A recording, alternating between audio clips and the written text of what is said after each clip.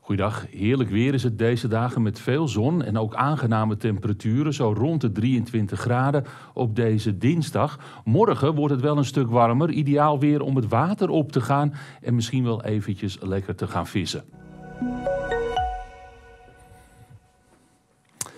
Ja, ook op het land was het vandaag prachtig weer. Fijn weer om te gaan wandelen of te gaan fietsen. En dan zag je constant die typische Hollandse luchten met die hele kleine stapelwolkjes. Die vriendelijke stapelwolkjes, zo noemen we dat ook wel. Nou, morgen dan wordt het wel een stuk warmer, want er komt warmere lucht onze kant op. En in de loop van de dag misschien ook wel wat meer wolkenvelden.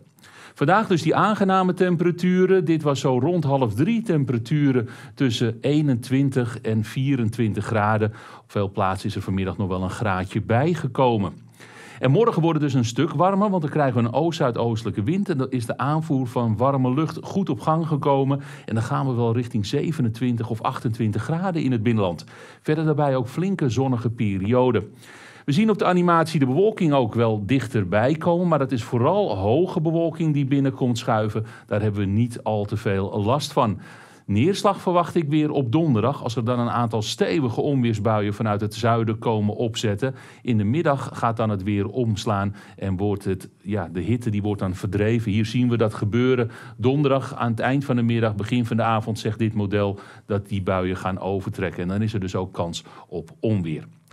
Nou, woensdag is daar geen sprake van. Het blijft overal droog en de temperatuur die loopt op naar zo'n 25 tot 28 graden. En dat alles bij een zwakke tot matige wind uit oostelijke richting. Het is echt een stuk warmer dan vandaag met die maxima rond die 28 graden. Sterke zonkracht ook, dat was vandaag ook al het geval. Maar dat is woensdag ook het geval. Zonkracht 7, een onbeschermde huid kan makkelijk verbranden.